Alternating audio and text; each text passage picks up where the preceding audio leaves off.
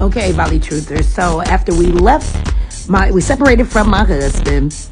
We headed on out to try to board this tra- this plane, and wow, was it packed! We had to wait for Argentina to get out of the line, push out of the way before we could go ahead and get all packed away and um, signed in.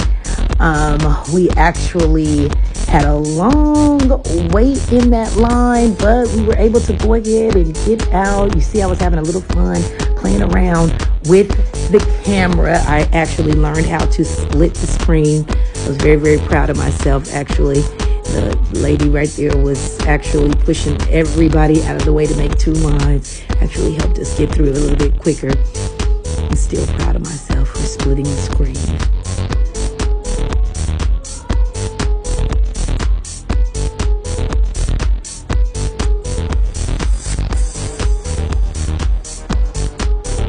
Anyway. Yeah, so moving on. We ended up walking through. We had a little bit of time to wait, so we actually walked through. We were able to go ahead and get something to eat.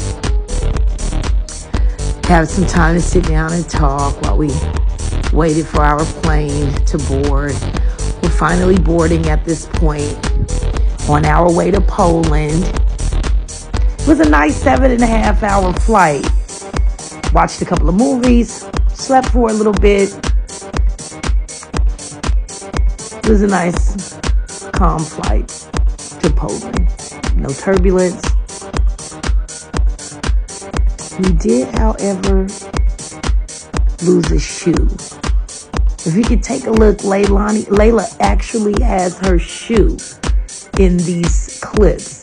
But once she got off of that plane to Poland, from Poland, she no longer had her shoe. But we didn't recognize that she didn't have the shoe until we were we had boarded the plane to go to Serbia. So this was a whole ordeal. But it made for some exciting, exciting things. So as you can see, she has the shoe. Very good pick of her shoe.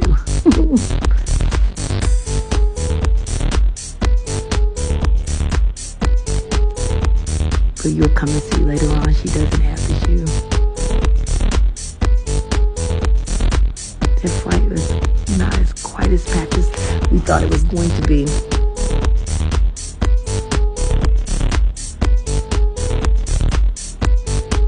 Lesson learned though. Don't clip those shoes together and try to walk with them and tuck them under the seat. You'll screw yourself in the end.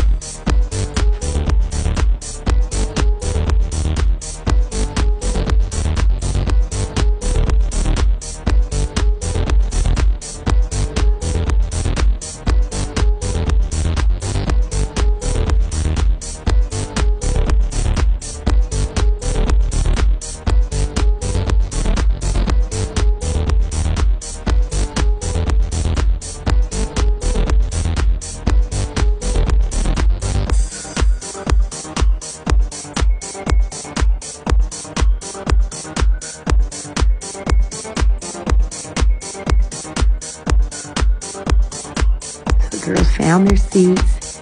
They're seated together, and I'm sitting sitting right behind them. So had a good flight, and we hurried up and got off.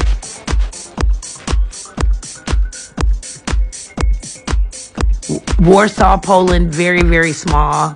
The airport is very small, nothing to do. We got some coffee, chilled out for a little bit, looked for some t shirts absolutely positively nothing